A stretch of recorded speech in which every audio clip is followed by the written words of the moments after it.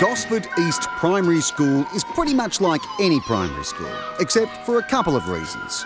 One of them is that the Governor General is popping in for a visit, and after half an hour of speeches by grown ups at Assembly, the GG knows her audience.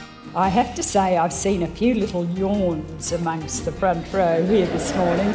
The other is that for more than 30 years, Gosford East has proudly included kids with disabilities in the school population. And Her Excellency was on deck to open a playground facility for the abled and disabled students, including Miss Amber Farlow, whose job it was to show the GG around. Off we go.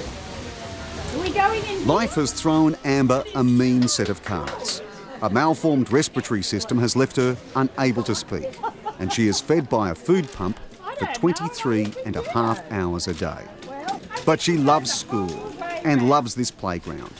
Margaret Wright is Amber's teacher. It will give them a lot of access to a lot of things that they haven't had before, and it'll be access for children in walking frames and wheelchairs. Sam White helps with physiotherapy.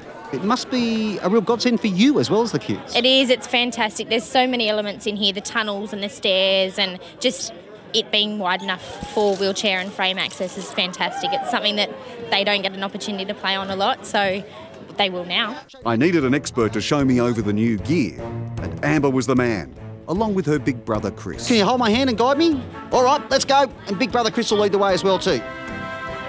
Ah. Oh, well done.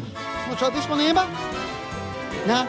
Okay, no worries. Okay, so what's your favourite bit so far, Amber? Here?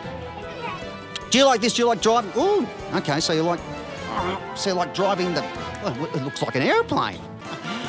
All right, sweetie, where should we go to next? Do you want to lead the way? We're the kings of the castle. And it seemed that all felt like kings of the castle. The playground is the fruit of a year's worth of fundraising by a collection of Lions clubs on the Central Coast. While the rest of the school had a go on the new gear, I wondered where Amber had got to, and I soon discovered her sneaking in a kiss with classmate Tom.